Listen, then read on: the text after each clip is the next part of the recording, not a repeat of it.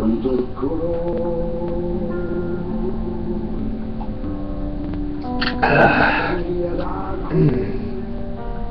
also did dishes today, so whatever happens tomorrow.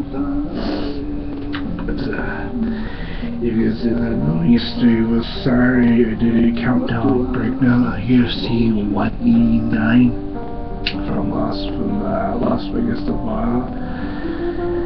And I was really pleased at how well last night's UFC 189 the prelims. Matt Brown got the win uh, on the on the pay-per-view side.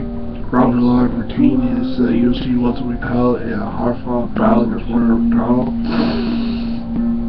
Chad Mendes, Conor McGregor. That was like a slugfest. Conor McGregor is now the new UFC interim featherweight champion. So we head down today for the UFC Ultimate Fighter 21 finale.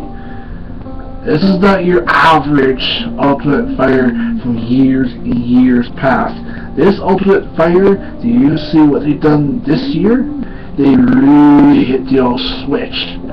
Instead of having two fighters from two different unknown camps, they say they're gonna have they're gonna let American Top Team, one of the best UFC fight camps, and Blackzilians fight it out between their own fighters to see who is the best fighter from their camp. And they decided to have an ultimate fighter tournament. All the from American Top Team, Blackzilians to the final who is the better man from their camp.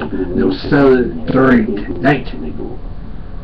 Ultimate Fighter UFC finale. American Top Team, Blackzilians also on that card.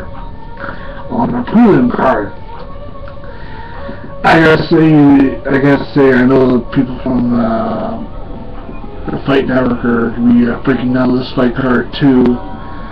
But uh, you look at all already uh, in the books on the prelim card, UFC Fight Pass, Willie Gates defeated Darrell to the TKO punches in the elbow.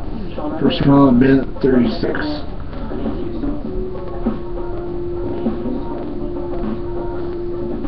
also uh, program notice to you guys this morning. This coming Wednesday, July the July the fifteenth, another UFC fight card. UFC fighter Frank Mir against Todd Duffy this week, this Wednesday also. But before we get to San Diego, we're still keeping in Las Vegas as the UFC is set to get underway.